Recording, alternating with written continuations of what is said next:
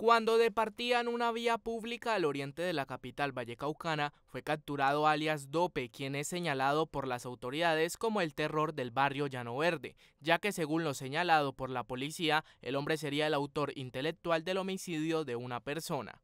Dando cumplimiento al plan cazador, nuestras unidades del Modelo Nacional de Vigilancia Comunitaria por cuadrantes logran la captura de un sujeto en el barrio Mojica de la capital vallecaucana, esta semana se movilizaron un vehículo de servicio público, el cual es interceptado por nuestras unidades policiales.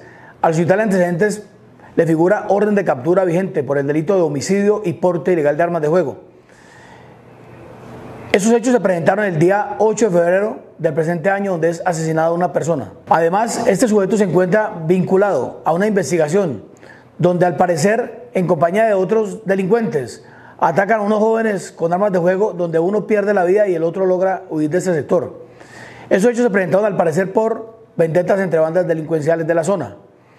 A esta persona le fue dictada medida de aseguramiento privativa de la libertad en centro penitenciario y carcelario. El hombre además estaría implicado en diferentes asesinatos en donde al parecer los crímenes estarían relacionados a actividades vinculadas con el microtráfico.